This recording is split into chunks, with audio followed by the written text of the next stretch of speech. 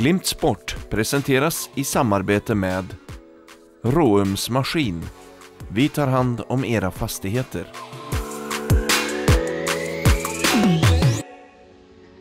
Dave Mosson, eh, du har varit på den här fotbollsplanen och många fotbollsplaner i Värmland och Sverige genom åren.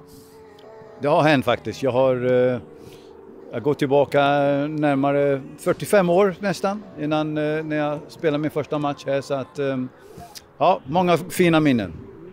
Eh, du är inte tränare längre eller så, men eh, hur mycket följer du fotbollen? Lika mycket som du brukar?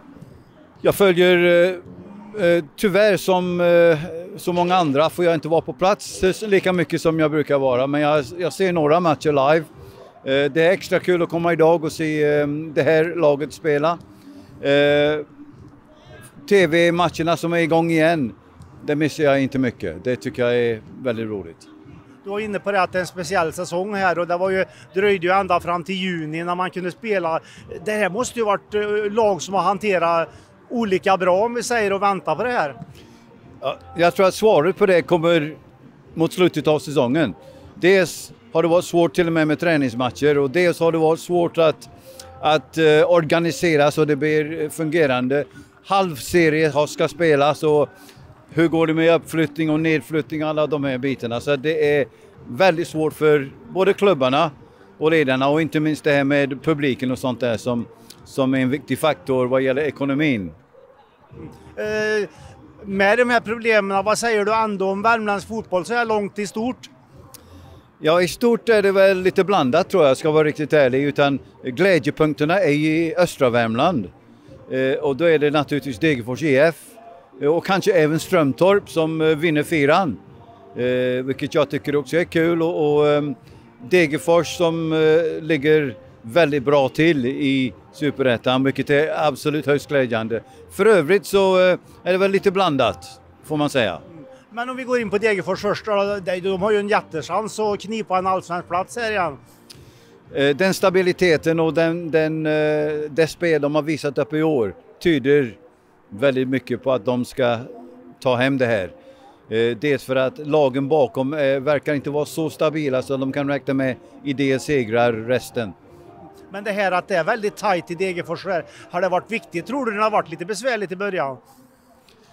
Nej, jag tror att, att eh, det som är i Degerfors, nu kan inte jag så mycket nu, eh, men, men eh, de har ett nytt tränarpar som båda känner till spelarna mycket väl. De har spelat där båda två i många år.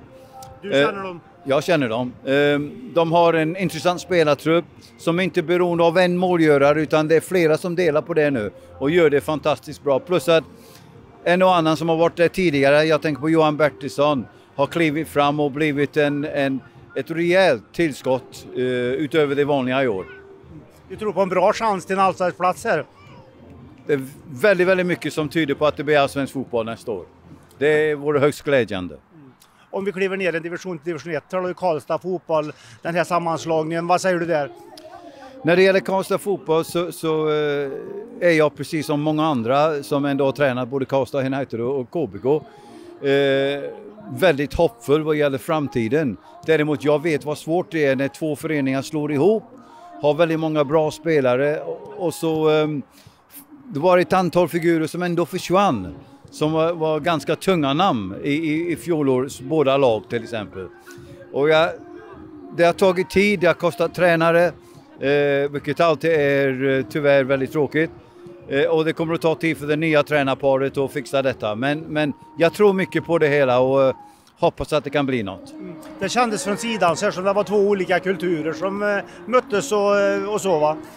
Det är möjligt, fast det var två spelande lag som ändå möttes. Ehm, jag tror att, att, jag är inte så säker på att det är omklädningsrummet som är problemet eller hur de spelade i fjol utan jag tror att det, man ska få ihop två gäng till ett vinnargäng.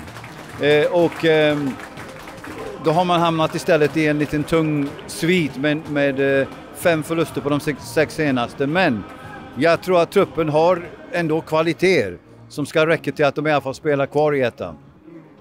Neröver då på här sidan där vi, jag tänker på dina lag, Norrstrand, Hertsöga och så. Ja, Hertsöga kommer att klara sig kvar. De har eh, de, de, eh, de har ju så pass bra målskinn. Såg de spela förra helgen. Norrstrand eh, har gått väldigt bra. Där är det där är Strömtorp klara, då hänger det mellan, om jag minns rätt nu, du får rätta mig, Norrstrand, eh, KB, Töcksfors ligger på ungefär samma poäng och det är en match kvar om den andra platsen.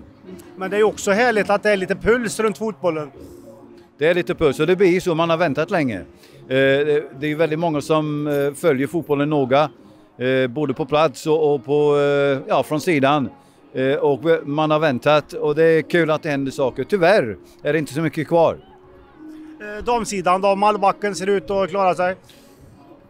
Conny fick ett ganska tufft jobb, som alltid i Malbacken där det är, det är eh, tidsödande att få ihop laget och få ihop truppen. Eh, men de har gjort det bra, de ligger i mitten av tabellen. Eh, kommer att klara sig kvar, vilket är viktigt.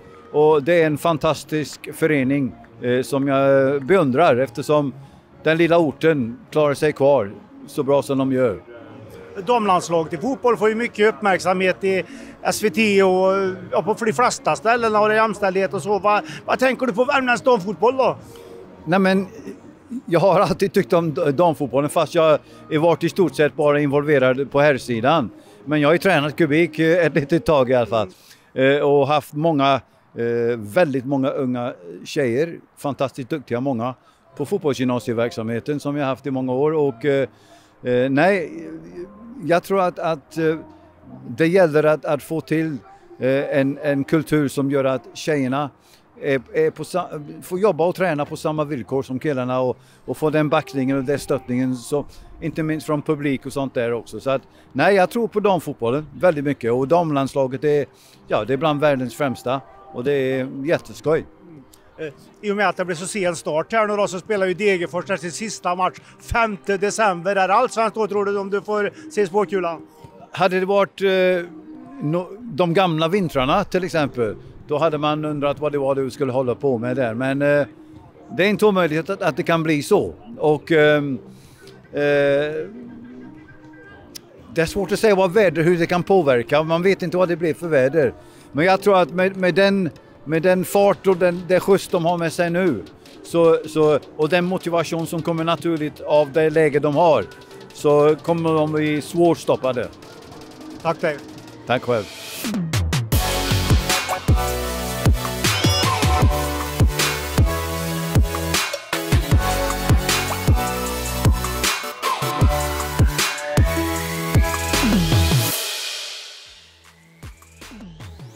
Glimt Sport presenteras i samarbete med Råums Maskin. Vi tar hand om era fastigheter.